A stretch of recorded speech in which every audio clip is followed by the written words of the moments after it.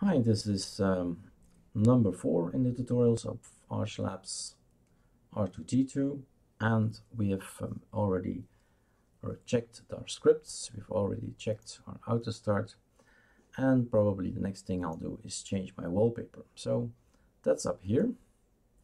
I'll go to next or I'll go to wallpaper and I'll just select the one I like like so or this one is a nice one as well.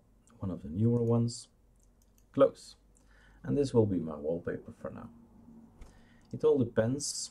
There's another tutorial for that. I'm not going too much in detail. But check out preferences. It's uh, easy to understand what it does. You want to change the wallpaper on start or not. So you check this out.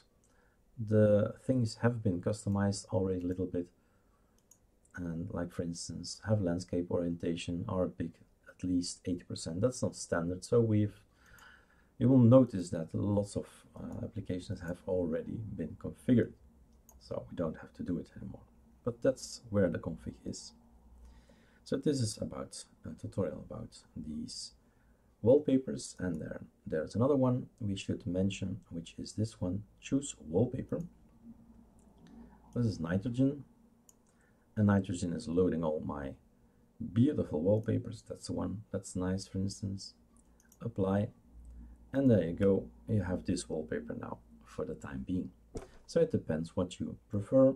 Nitrogen or variety which is going to provide. That's the main advantage. Variety is getting wallpapers from the net providing them to you.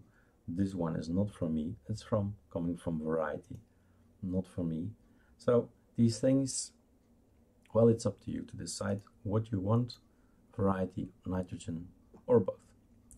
Okay, have fun.